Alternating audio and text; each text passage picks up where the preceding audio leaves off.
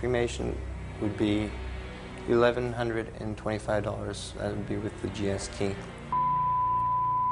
The time has come for you to choose your side. And you've only got so long to learn how to field strip an AK because Satan isn't going to give you that chance. You're a target all the time. Police are targets, but they got guns. Cabbies are targets, and they got nothing. I'm so excited. He's coming down with me.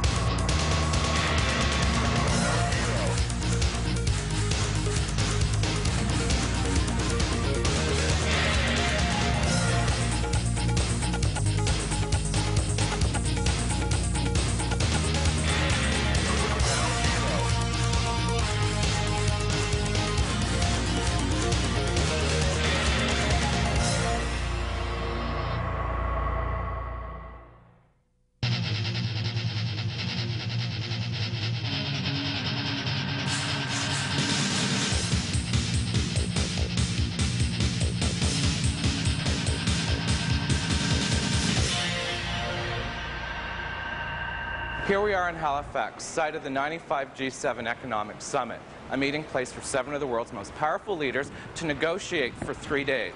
So what was the big news? Stabilization of world currency markets, the USA and Japan trade war, Bosnia? No.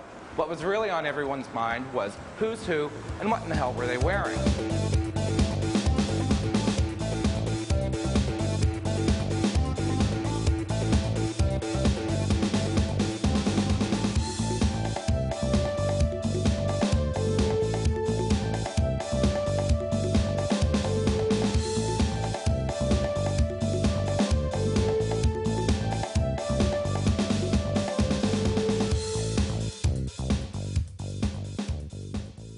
As observers or spectators, what we're all looking at is who looks the best, who is most impressive as a leader, who has made the most impact on the media, and without a doubt, it's the leaders that are uh, much better groomed and um, much better dressed. Chancellor Kohl was the largest guy and wore a really, really big suit.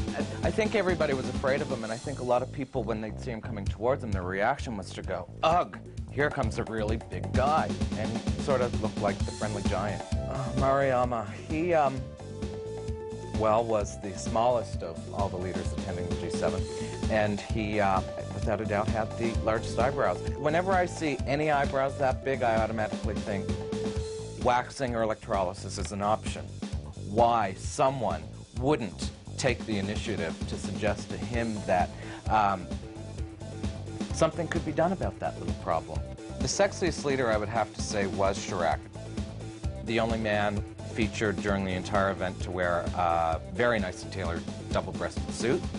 I guess it makes perfect sense that the Prime Minister of France would have those resources available to him and definitely come out looking the best. Clinton always looked really clean, very well groomed. Um, he definitely has uh, uh, pays a lot of attention to personal grooming. I think I wouldn't be at all surprised if he travels with hairdressers and nail filers and, and estheticians and people to clean his face and do his hair for him all the time. He just always looks like he just stepped out of a beauty parlor. When it comes to Yeltsin, I think the fact that when he presented himself in any public situation or in front of the media, um, everyone just automatically assumed he was drunk. Without a doubt, the um, the highlights of uh, the G7 didn't come from what the leaders were wearing. What everybody was most excited about, it seemed, was the uh, CIA or the Secret Service. When we were seeing all of these really smooth, really cool guys walking around, nicely fitted black or pinstripe suits, accessorized with black gloves, dark glasses, earphones, and guns. I mean, it lent to this air of mystique and intrigue, and they looked like uh, James Bond spies. I think that turned a lot of people on. So regardless of your taste in menswear, the G7 had a little bit for everyone. For Ground Zero, I'm Fred Connors in Halifax. Nothing I've seen on television has really inspired me to do anything. I like absolutely nothing about television, but uh, I watch it a lot because I'm addicted. I grew up in that kind of era. That's really what all I can say. I despise television, actually. Because I don't watch it. I it's on all the time. I don't pay much attention to it. I'm really glad you guys have this service because you see, I've been having this dream. I'm on American Gladiators and I'm running around, but I'm, I'm fighting against all the women. And they're like throwing me around like a rag doll and they're tossing me in the air and they're beating me on the mats and they're tying me up to things and then they're whipping me and then they're throwing hot wax and then out comes the assorted vegetable. And I just don't have a clue what the hell the banana's for. End of message.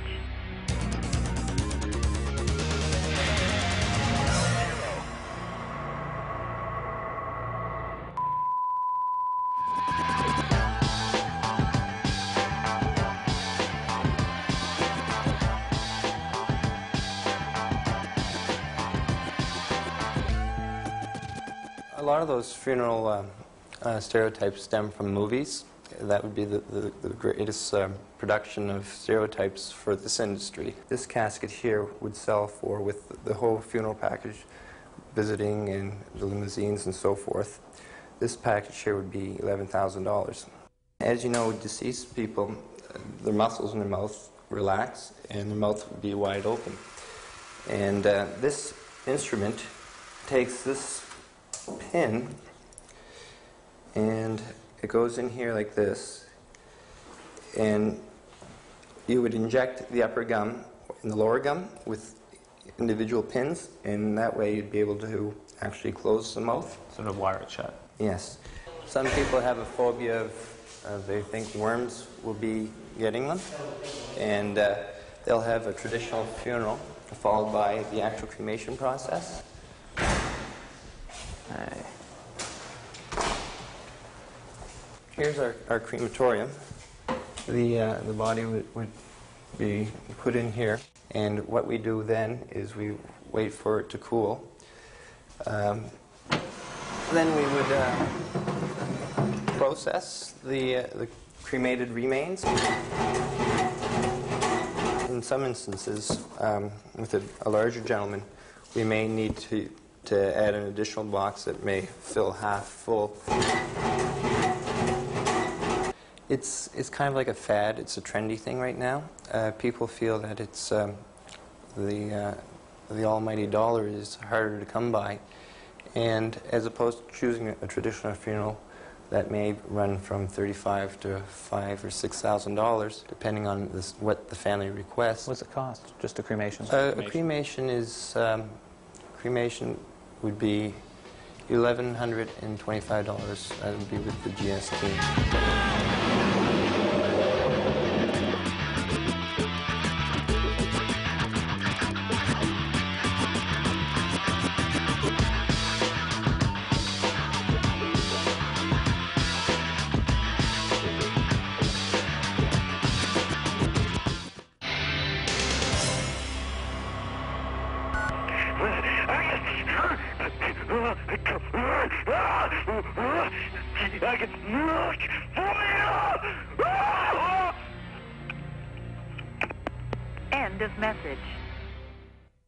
Can't let you know all the details. If you knew all of this, we'd have to shoot you. I mean, I was trained for the Presbyterian ministry, seven years in university, ordained. How would you like to be addressed? It's the Reverend Bob, As the Reverend Bob. yes. Reverend Bob, um, could you tell me what uh, religious organization that it is that you represent? The Line of Judah Church of Halifax. The presbytery took me up on trial here in Halifax and told me to burn my sermons, never again preach them or get out. So I got out. Once again, would you please care to discuss how it was that you were ordained? Well, if you must know, by mail. And uh, what process did you have to go through to receive your ordination? Well, I had to send them twenty dollars. I mean, I used to go at the Norfolk Hotel. This was back in 1933, 34, 35, 36. So you see, I'm not young anymore. And uh, drink there a lot Friday nights. But when I got saved, I never went back. Never went back. About four years ago, was a Margarita Monday, I believe, down at J.J. Rossy's. We had just uh, finished off our seventh tray, and a man came and sat next to me, and I could tell that he was different, some way or form, when I realized it was Jesus, and he had come to visit me. I met one man down there, a businessman, and he said, uh, I'm a homosexual. And uh, he said, I, I disagree with you coming out here in the street, taking a stand against homosexuality's hate literature. I said, you're no different a sinner than if you were a drunkard, or a robber, or a murderer, or anything else. We've instituted uh, several small compounds throughout the province. Uh, good farmland, so you can tunnel in real deep. And uh, we've uh, stocked them adequately with a lot of the, as you say, the canned goods. And uh, we're training. We've hired some XSAS members and uh, different members of the former Soviet Union that have seen the light. The government's laws are against God's word. They're casino laws, they're booze laws, the uh, abortion laws, and homosexual laws. The time has come for you to choose your side, and you've only got so long to learn how to field strip an AK, because Satan isn't going to give you that chance, but we will. The Bible says you're either a Jew or a Greek. These, these people, Ethiopia, uh, Holland, but they're, they're Gentiles. That's all God said. Then they get saved, they're Christians, and we're all Christians here. But the thing is, people look at television like it's the gospel. Like, television is telling me this, so it's true. Television is showing me this, so it's true. The censorship is like another stupid issue that's going to be addressed in TV. I think it's, it's just pointless. A lot of Canadian stations go out on a limb on it, and I think it's very smart.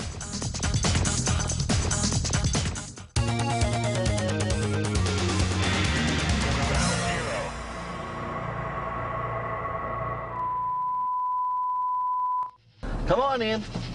She's doing a story on taxi drivers.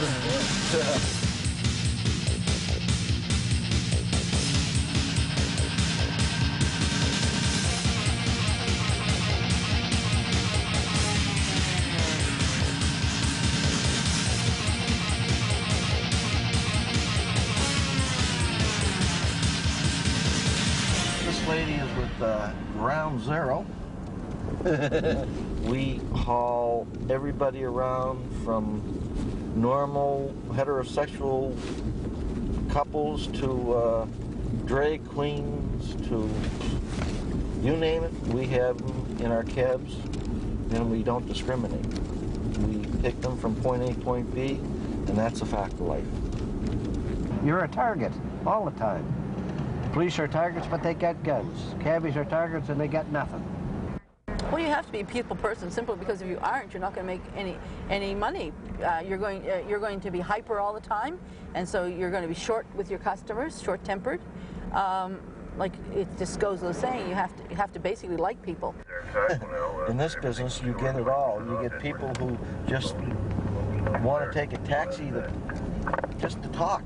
Nothing shocks me. Nothing surprises me. The only people that com- uh, continue to surprise you is other drivers. We know where people live. It's just a fact of life. We take them from point A to point B. If they haven't moved, I know their address. How do we, you know? Because we know. I'm a taxi driver. Taxi driver knows all. A cabbie could be called on to do anything, and as far as uh, getting people to where they're going, to uh, having babies delivered, anything like that, they're capable of doing. Do you love your job? No, that's uh, it's, it's not a matter of love. It's extra, a, little, a matter of a little extra money and uh, stuff there like that. But it's it's not for love. Well, I put a lot of hours in. Uh, I'm not getting rich by no means. If you put in the hours, you, you make your living. That, that's about size of it.